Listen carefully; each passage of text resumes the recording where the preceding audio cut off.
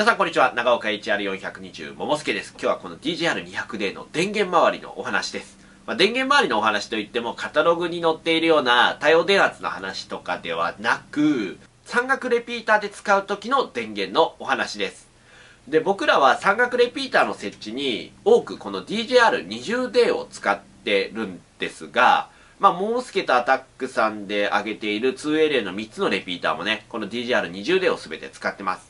で、この DJR20D の後継機種として DJR100D っていうのがあるんだけど、なんで 100D に移行してないか。まあ、いろいろ理由あるんだけど、そのうちの一つが、電源の使用の問題なんですよね。えー、山岳レピーターでソーラーパネルとバッテリーで運用してると、まあ、1年に1回あるかないかなんだけど、悪天候が続いて、バッテリー電圧が下がっちゃうことがあるんですよね。そうすると、まあ、レピーター止まってしまうわけなんだけど、DJR20D は、天気が回復して徐々にバッテリーの電圧が上がってくると自動でね復旧できるんですよ。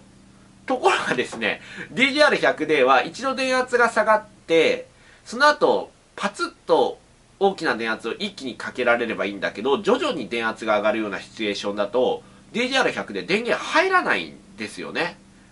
これはね1年に1回程度とは言ってもやっぱ山の上のレピーターをね、えー、止まってってしまってまたその電源入れ直しに行くというのは結構まあ煩わしいというのがあって僕らはこの DJR20D を使ってます。でまあ 20D に代わってこの 200D がそういった山岳レピーターの運用に使えるかっていうとこの一つがその電源がどうかというとこで今日はですね、え DJR100D と同じ電源の使用の DJP23 とこの DJR200D で徐々に電圧を上げて復旧するかというところをテストしてみたいと思います。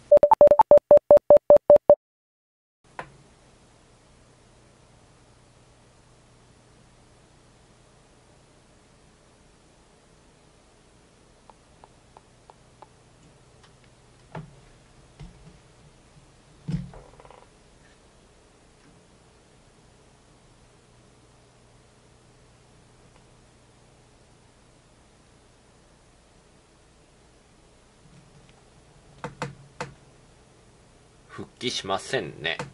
はい。で、DJR200D とか、この DJP23L24L は、1回、電源を、ケーブル抜いてあげて、一気に電圧がかかると、復旧します。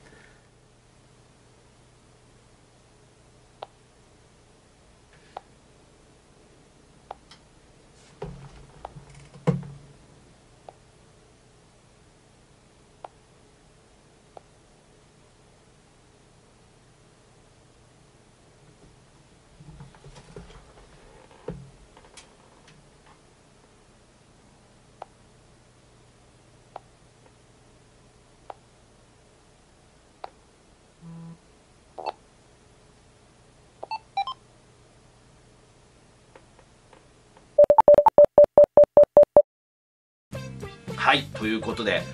DJR200 で無事徐々に電圧を上げて電源入りましたね。これね問題なくソーラーパネルとバッテリーで動かしても、えー、復旧できると思います。実はですねこの実験をして翌日なんだけどアルインコの方のね、えー、お話ししてこれ意図的に仕様変更したんですかっていうとこね聞いてみました。答えはですねイエスでしたね。まあ、あの、いろいろとね、要望がある中で、えー、この1回落ちた時にもう1回電圧が上がって復旧してほしいというね、要望が結構ね、寄せられてたみたいですね。まあもちろん僕らがライセンスフリーラジオで使ってて、まあそういった、あの、バッテリーとソーラーパネルでね、えー、運用した時に、まあこういう問題があるということもね、認識されていたみたいです。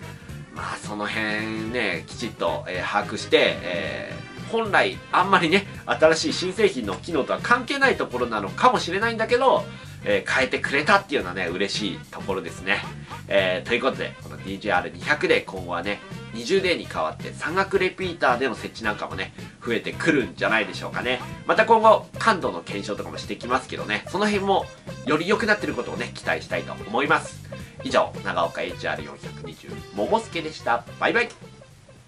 ももチャンネルをご視聴いただきましてありがとうございます。このチャンネルではライセンスフリーラジオをはじめアウトドアで遊ぶ無線趣味の紹介を中心に、えー、いろんなことをねやってます、えー、結構ふざけたこともね え、いつもやってますので、えー、興味がある方はぜひチャンネル登録の方をお願いします。また動画の情報とかその他ね日々の情報は Twitter の方でも発信してますので「アット長岡 HR420」で検索していただくか、えー、説明欄にあるから Twitter の方もチェックしてみてください。